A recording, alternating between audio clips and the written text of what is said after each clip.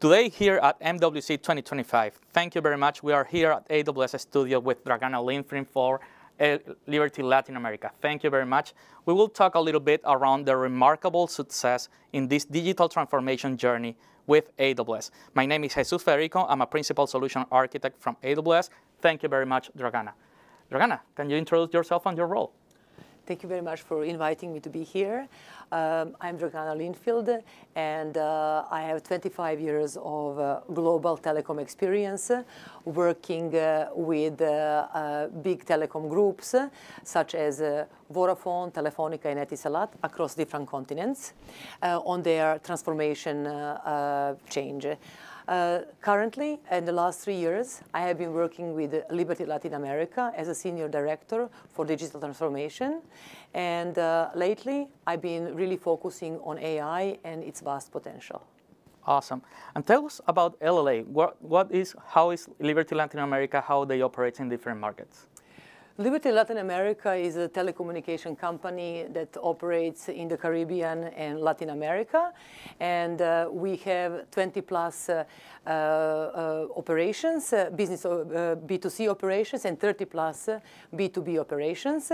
And we operate under the brands BTC, Flow, Liberty, and MásMóvil.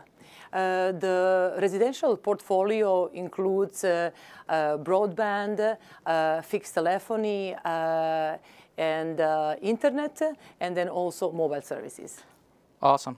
And, and let's, let's walk a little bit around this digital transformation. Why Liberty Latin America decided to do this digital transformation?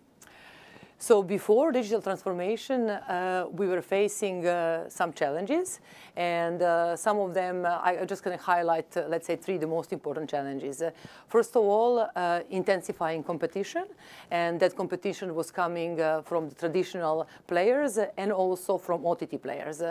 The second one was costs and churn, because telco normally relies a lot on customer service, and also the cost was coming from siloed operations. And one of the uh, kind of the third one uh, was uh, the customer experience because customers were wanting seamless experience, fast and omni-channel experience. Tell me about the first steps that Liberty Latin America have done in this digital transformation journey. So basically, uh, we realized that uh, uh, all of those challenges could not be efficiently solved uh, by doing incremental changes and incremental projects in each of our markets. And uh, uh, the first step we did to even start in digital transformation was to get the clear vision from our group CEO. And the clear vision was to become digital first organization and to transform the way we engage with our customers. So as a result of that, what we did is we created a digital center of excellence that would serve all our 20 markets. Awesome. And you mentioned that you transformed the way you engage to the customer. Can you elaborate a little bit more how you did that transformation? Yes, certainly. So uh, uh, we did uh, uh create a new uh, digital journeys. We designed new digital journeys that were uh, uh, frictionless and seamless so that our customers could engage with our brand on any digital channel, e-commerce or e-care, anytime or anywhere. And after this digital transformation and redesigning this uh, journey, this customer journey, what happened next? So uh, we had to find the best technology provider, and uh, uh, the best technology provider, given our multi-markets, uh, was AWS because uh, uh, it would guarantee our scale and our multi-markets. It's, it's, a global provider, and also because of the scalability, elasticity, and mainly because this transformation could not have been done without AI, ML, and you guys are leader. And tell us about the solution. How, how do you build this solution that covers multiple markets? How, how do you deploy that solution and how do you create? Yeah, so uh, before building the solution, we, uh, we decided to uh, replace uh, the legacy uh, Uh, data centers uh, uh, that, and solutions that each individual market had. And we decided to create one unified digital experience platform that would be the solution for all our markets instead of doing 20 solutions. And the second thing we did was to unify uh, our fragmented data silos and to create one data lake, one single repository where we would put information for all data sources. And uh, that would actually give us a 360 view of our customers because we really are data oriented and it will help us make better decisions. Awesome. And what are those key requirements that require the solution in order to be implemented and deployed? So uh, the solution uh, um, needed to be future-proof because we are not only doing this for today, and then also needed to be flexible because we don't know what variables we need are going to happen in, a, in, a, in the future. So in order to do that, our, we have adopted a, a microservices architecture, uh, which meant that uh, uh, every service, be it provisioning or billing, was independent uh, and could, uh, uh, could be changed independently without affecting other services. Then we adopted API-first approach because this platform has no value on itself and it had to be integrated with our markets and other systems. So for that, we used APIs and we were integrating with our BSS, with our CRM, we were integrating with third parties, uh, payment gateways, etc. And then the third thing, we created a, headless architecture uh, that uh, uh, they decoupled architecture as opposed to monolith architecture. Right. And that was very important because we wanted to achieve independence between the front end uh, visuals of the customer, visual experience, and the back end which also meant that every time we changed the front end, there was no impact on business logic. And equally, we were able to change, add, remove technology providers without impacting the front end. Awesome, awesome.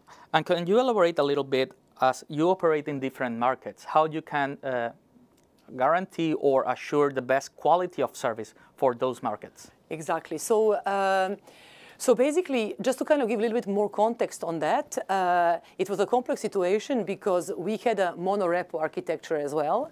And that architecture meant that we have one code repository serving various markets. So the advantages of that were we were able to reuse the code and we achieved about 60% reusability for that code, uh, leveraging on other markets.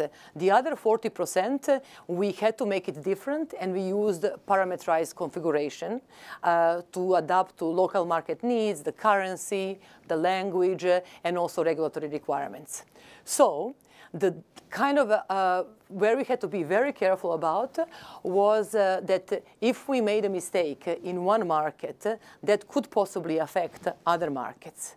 And in order to kind of be careful about that, first of all, we did really very good testing. We have regression testing and the all tools right. and everything, but we really take advantage of AWS uh, tool to uh, actually minimize the faults. It's called circuit breaker pattern. It would recognize the problem and isolate the problem from the rest of the markets. So if, if there is a problem in a particular market, it's not expanded across every market. Exactly. And also how, how you are leverage like the CDN infrastructure of AWS?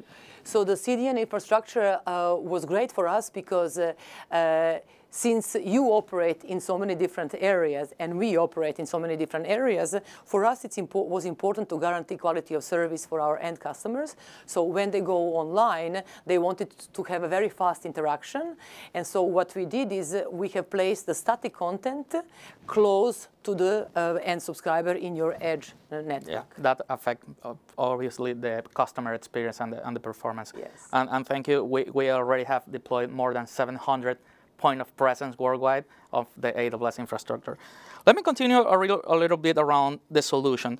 How was the importance of automation in this solution for, from the business perspective on, on, on, this digital transformation? Yes, I mean, automation was the key uh, element in our digital transformation because uh, previously, our customers uh, would uh, have to do everything uh, uh manually, and, uh, and by automating that, we have removed our customer care agents uh, from actually being involved because everything was done automatically thanks to the AI and automation regarding the purchasing process for e-commerce. Awesome. And what about digital care transformation? Yeah, digital care transformation was also huge because uh, uh, just to give you a picture, we have customers uh, who are in one market, and if they have a prepaid and a postpaid account and fixed account, they would have to download three different applications. Now, we, and that would be the case in every market. Now we have only one application, and the application, the system recognizes exactly what type of the customer it is, and it displays all three accounts within the same uh, bracket. And then we also introduced the, the chatbots, which are also AI-based, to take the most uh, frequent questions uh, from the customers without uh, uh having to use uh, the customer care agents. Awesome, awesome. And let's dive a little bit on, on the AIML space. How Liberty Latin America is uh, leveraging AIML in their journey, in, in their in the footprint and application for deployment this. Yeah, that was another strong reason why we selected uh, AWS as our technology provider. So uh, first of all, uh, uh data uh, strategy uh, is in the center of our transformation as well. And we don't make any decisions that are not data-based. So everything has to be data-based. and for that, we use AI.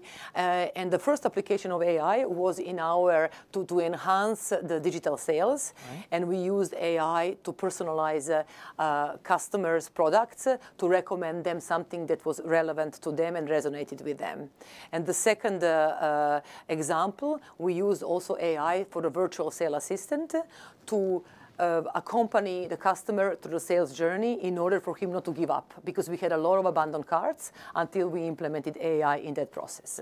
And then the second one was in digital care. Awesome. Uh, and what about, uh, what about prediction of the churn in this using AI ML for Liberty Latin America. Yeah, How that was, was yeah, that was fantastic work that we actually done together with AWS. Uh, we used SageMaker to develop a model, uh, and then we input a lot of data, process data, to that model to learn about uh, uh what would be the probability of our customer for churn, and then we would intervene before the churn actually happened by uh, giving him appropriate offers to make him feel valuable and to make him, make him feel heard by LLA. So how, how you measure success of this solution and this digital transformation after all the work that have been done together? Yeah, we are actually very proud of our achievements, uh, and uh, we have achieved uh, great results. The first one would be the the 25% uh, that digital sales account of the total sales in LLA, which is great. Some markets have more. Uh, that's on average. Uh, and not only did we get those sales through a new digital channel, but every sale that we did has bigger ARPU than other channels, be it uh, you know the channels uh, like a retail or anybody else, and uh, those uh, uh, achievements are thanks to, thanks to AI because AI was able to upsell to the customer, knowing exactly which type of the customer uh, they were, and then also the type of the customer that comes, they have a longer lifetime value and they stay longer with us. And other result is the customer acquisition customer acquisition cost is much lower through digital, and that also is uh, uh, because everything is done automatically and the customer agent doesn't even have to involve in that purchase. Purchase can be completed only in a couple of clicks. Uh, and uh, so that's like uh, from the sales perspective. And now from the operational cost perspective, uh, we achieved a very significant reduction of cost because of so many different factors.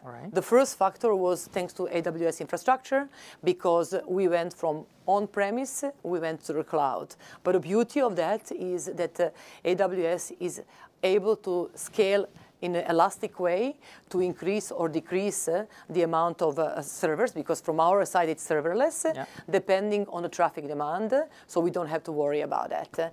Uh, so and the second reason for the cost reduction was automating all of our processes. So we have automated a big percentage of critical processes. So we don't need sales agent or customer care agent to do anything because they are automatic.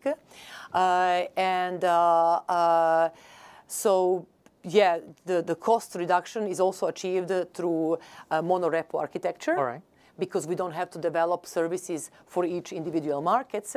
We do it for all because it's one platform, and then we do slight customization.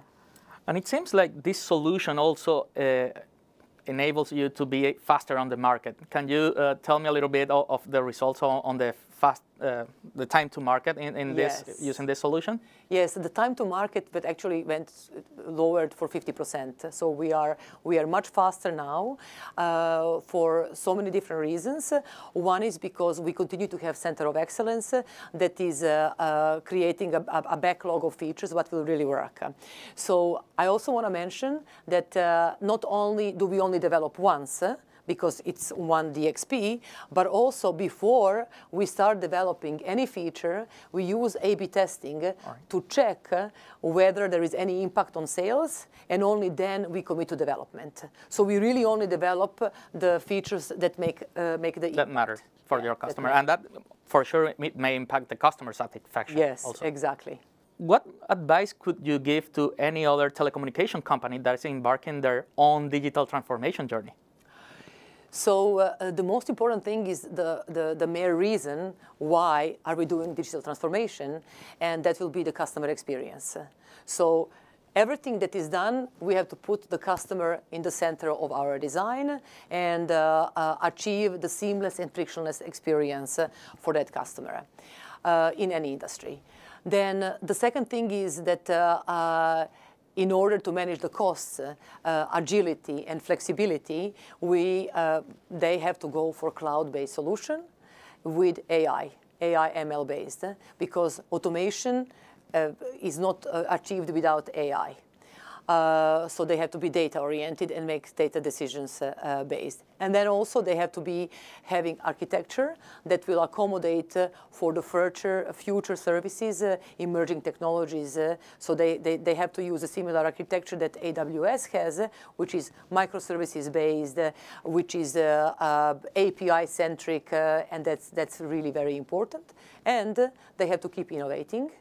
And the best way to keep innovating is to align themselves with a technology partner that is innovating themselves, yeah. Uh, like AWS is. So it seems like you need to have a, like a long-term vision for success. It's not a short-term uh, vision for, for this digital transformation. Exactly. It's, not, it's never finished. The journey is never finished, and customers expect us to keep innovating. Thank you very much, Dragana. Amazing results. And thank you for sharing all this information with us here at MWC 2025. Thank you very much. Thank you.